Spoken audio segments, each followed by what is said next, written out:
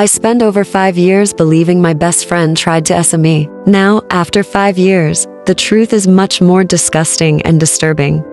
Five years ago, when I was 23, I had been working with a company that handled hospitality training and stuff like that. What we did really wasn't important. But at that point, I had been with the company for about three years already. Mark had gotten hired around the same time as I had, and we did a lot of training and stuff together. Got put in the same call center group, and all around just became extremely close friends that hung out after work. Since we lived close to each other and were both unattached, to point out how close we had gotten, since we were both single, folks in the company and our department always made jokes that we needed to just say F the company policies and start dating. We always laughed it off because at the end of the day we both had made it abundantly clear to each other that we only saw each other as friends. For what it's worth, I don't remember how the conversation came up, but it had, and it was just a strictly platonic relationship. So yeah, we were basically attached at the hip for about two and a half years when I met Paul at the time 29M and currently 30 for M and began dating him. Paul and Mark got along somewhat fine at first, but a few months into dating, Paul started to get upset if I said I was going to grab dinner with Mark after work even if Paul was working at the time since he had his own long hours. For what it was worth,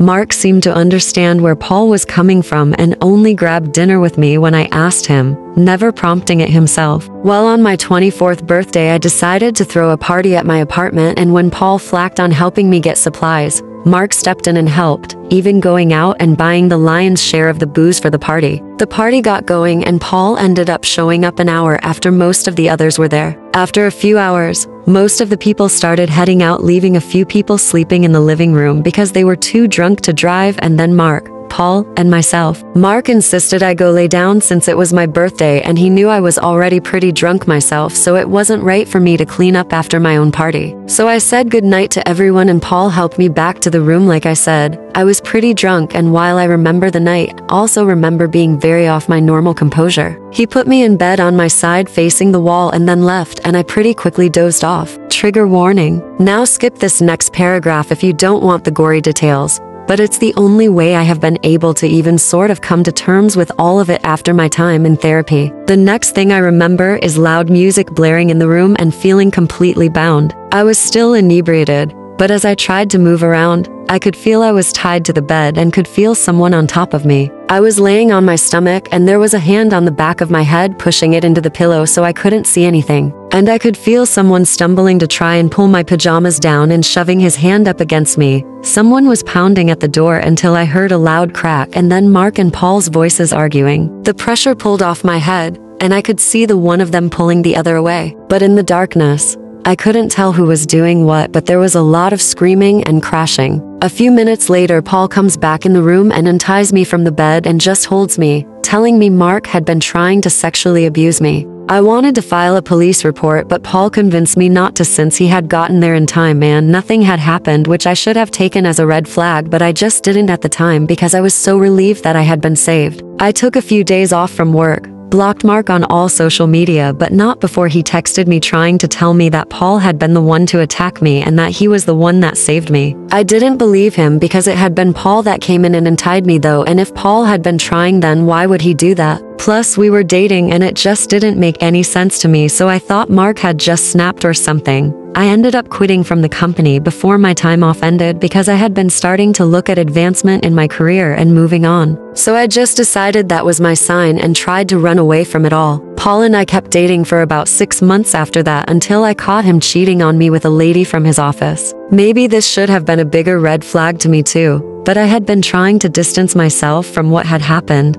Then life just went on. I got comfortable in my new job, stayed away from getting too friendly with anyone from work and have never had a close guy friend again. Occasionally, I'd see Mark at the grocery store or around town. Like I said, we had lived close to each other and neither of us moved and I never felt the need to since he kept his distance from me completely. And I thought I was mostly over what had happened half a decade ago until I get a notification a few hours ago that Paul had messaged me. I thought that was odd cause I had blocked him. He made a new account, but I opened the message up anyway because of curiosity. I don't want to share the whole message because there's a lot of personal details in it, so I'm going to just hit the important details. So, according to him, Paul is an alcoholic and has been for years. Even back when we first started dating, he pretty much was always drinking something or looking for an excuse. He got fired from his job for showing up to work drunk and assaulting the receptionist by trying to force his tongue down her throat in the front lobby. At 9 a.m., he was in court mandated AA and as part of his recovery, he was trying to make amends with anyone he has wronged because of his habit. And finally,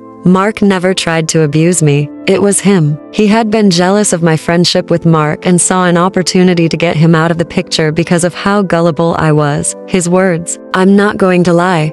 I threw up after reading the whole thing. He had so much detail behind all of it that I just felt sick to my stomach that he not only remembered everything, from how he had secretly put ties on my bed before I even went to sleep once he saw how drunk I was getting to, how he beat the shit out of Mark and threatened to unalive him if he went to the cops. I know it's not a healthy reaction, but I've been drinking a bit since all of that message hit my inbox trying to decide what to do. I know I need to call my therapist to talk about all of this, but my mind keeps going back to Mark and how betrayed he must have felt over it all. I even unblocked him on all my social media. He never blocked me, so his profiles popped back up pretty quickly, and I've been trying to decide if I should message him or not. I know logically that Paul should be the one messaging him as a part of his AA stuff, but I'm also pretty sure that Mark did block him since Paul mentioned not being able to find him on social media. But he also might not have remembered Mark's last name either, so it might be hard to find him. So I guess my question is,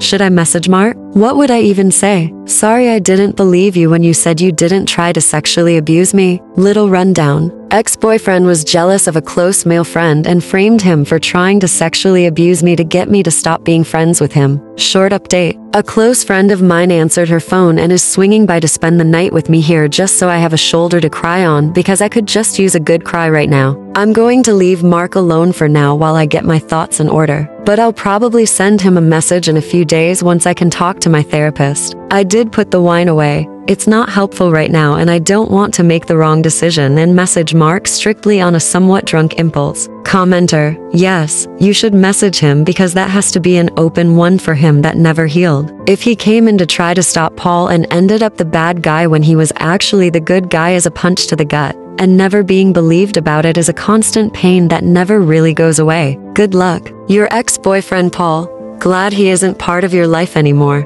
Wow. Reply. This is exactly why my mind has been going to Mark, because I feel so incredibly guilty. I've been sort of, I guess cyber stalking him a bit here and it seems like he's had an okay life but I just feel like I owe him some sort of message now. Commenter. All I'll say is that you shouldn't be surprised if Mark wants nothing to do with you after you tarnished his name and kind of his soul in a way. I'll bet that because of this there's more than a couple people that think of him as Mark the SA, not just Mark. I hope you learned that you shouldn't believe the first story you're told when someone else's life is in the crosshairs of your poorly informed decisions. Y'all can get mad at that if you want, but this isn't a time to coddle anybody's feelings to avoid speaking an uncomfortable truth. There can be two sides of an argument without anybody needing to go call their therapist because they got triggered over an ounce of opposition. I'm sorry any of this happened to you at all. That should have never happened. But what happened to him is even worse. And at the end of the day, you are the villain of his story. Reply. While I completely understand that might be Mark's reaction,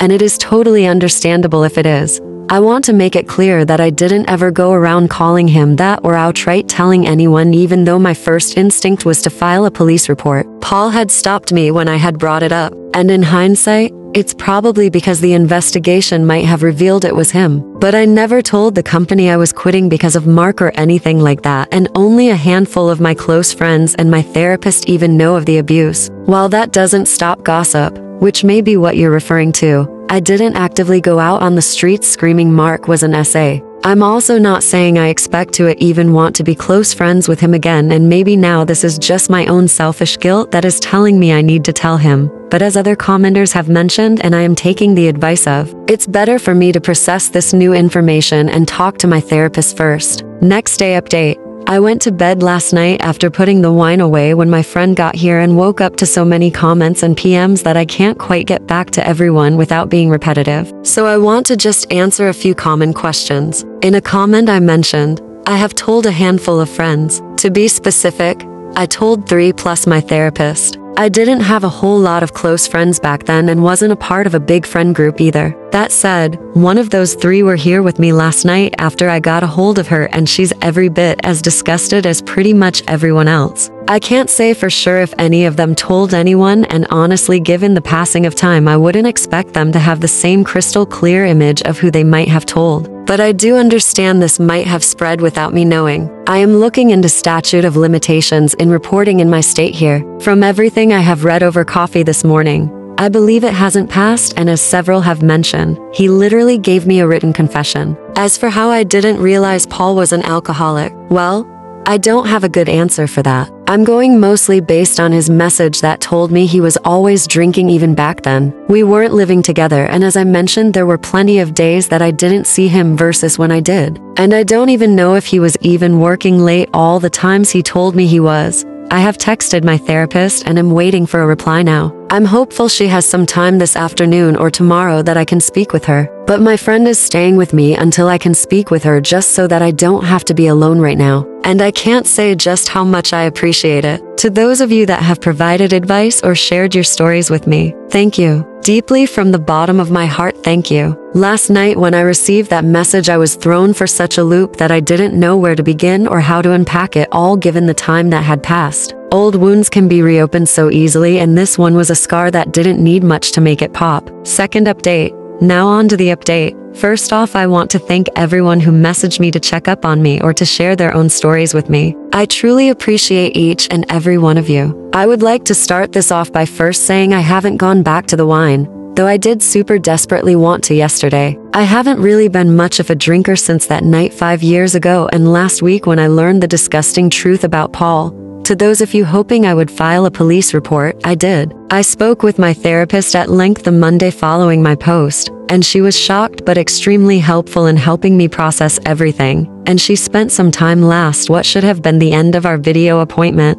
looking up the statute of limitation laws in my state. There are none for SA, crimes, and while she warned me that my report might just be added to a pile of other charges, Paul could possibly have against him, given that he was assigned court-mandated AA. All the same, I filed the report with screenshots of his messages to me printed and attached. I'm not sure what to expect from that and at the end of the day I hope he has an absolute messed up life if it goes nowhere. Now, as for Mark, my therapist was insistent that I, at the very least, write him something, whether it be a letter to mail him or a message on Facebook. He never reached out to me after I unblocked him, but given what he thought I thought of him, I think it's understandable. She, like many of you, pointed out that while he knew he was innocent, the thought of someone believing him capable of something monstrous like that could have weighed on him for all this time and even if his reception of my message wasn't ideal, he deserved at least the closure that this new turn of events could provide. I took a few days writing and rewriting a message in my notepad.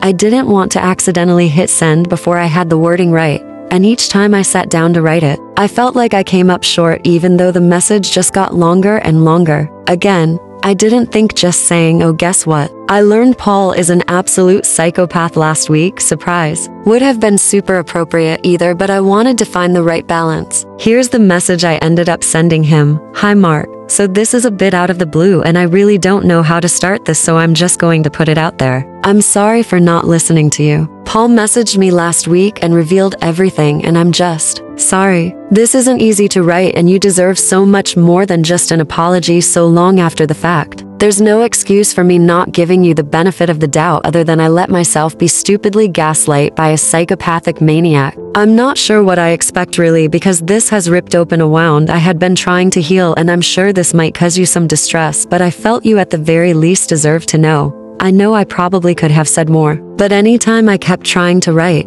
I felt like it was just me making excuses. I sent that to him this past Friday and I'm pretty sure he read it sometime between Friday and Saturday as the read notification had been there when I checked Facebook. Again at lunch on Saturday, I had been out with my friend Jenny who had stayed over with me after I learned the truth. And when I told her I had messaged Mark, she wondered if he had responded so I checked. Last night at about 6 p.m., my phone dinged, and while I thought it might have been a text from Jenny or maybe my mom, I don't really text or talk to a lot of people. I actually found that Mark had sent me a reply. I wish you would have listened to me back then. but I'm glad you know the truth. I send a screenshot of his confession to him. This is the message he sent me. It even confessed to an abuse on you. In the event, if you'd like to press charges against him as I have already filed a police report for what he did to me, if you would like to talk about any of this at all, my inbox is open. If you want to tell me to F of, well, I guess I understand that too. I thought that was all he was going to send me when the three dots kept going across the bottom of my screen. He was still typing when he sent me pictures as well. They were graphic, and Paul's assertion that he had beat the F out of Mark with in fact, also come with documented proof from him in the form of pictures. Mark went on to explain that he filed an abuse report the next day after my birthday, but that the police had warned him against accusing Paul of sexually abusing me. Given the turn of events in my don't speak to me again text I sent him when he tried to explain himself, nothing had ever come of his police report and he wasn't even sure why, neither am I. But he intended to follow up once more today. Mark is still very much the kind person I remember him being,